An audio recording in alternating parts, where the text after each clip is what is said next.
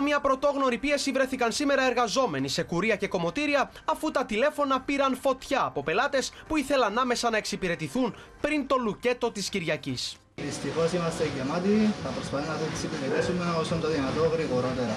Τα πιστολάκια δεν σταμάτησαν ούτε λεπτό να λειτουργούν, ενώ οι κομμωτές προσπαθούν στα μέτρα του δυνατού να εξυπηρετήσουν πελάτες χωρίς ραντεβού που υποχρεώθηκαν να μπουν στην λίστα αναμονής με την μάταιη σε πολλές περιπτώσεις ελπίδα ότι θα ικανοποιηθούν έστω και αύριο, τελευταία ημέρα λειτουργίας. Όταν δεν υπάρχει χρόνος για ραντεβού, δεν υπάρχει χρόνος για ραντεβού. Δεν θα στερήσω ε, το χρόνο νιου πελάτη που υπάρχει ήδη το ραντεβού του ε, για να βολέψω κάποιον άλλον πελάτη.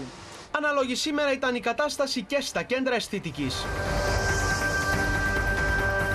Οι περισσότεροι πολίτες φαίνεται να συμφωνούν με τα νέα μέτρα. Θεωρώ ότι ήδη αργήσαμε για αυτό το φαινόμενο. Έπρεπε από αρχή να γίνεται το πράγμα. Αργήσαμε πάρα πολύ.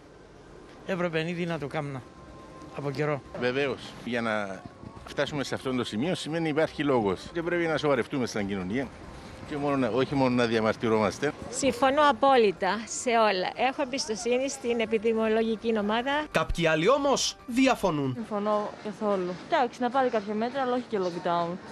Είναι απαράδεκτο. Τα βλέμματα των περισσότερων είναι στραμμένα σε αυτούς που αναγκάστηκαν έπειτα από την ανακοίνωση των σημερινών μέτρων να βάλουν λουκέτο στις επιχειρήσεις τους. Ενώ πολλοί ήταν αυτοί που εξέφρασαν έντονα τις ανησυχίες τους σχετικά με το ενδεχόμενο πλήγμα που αναμένεται να επέλθει στην οικονομία. Θεωρώ ότι σίγουρα θα είναι επιζήμιο για την κυπριακή κοινωνία το ότι θα ανακοινωθούν πάλι μέτρα ε, από την αρχή. Αρκετές επιχειρήσεις σίγουρα θα έχουν πρόβλημα. Τα καταστήματα λιανικού εμπορίου πρέπει να μείνουν ανοιχτά.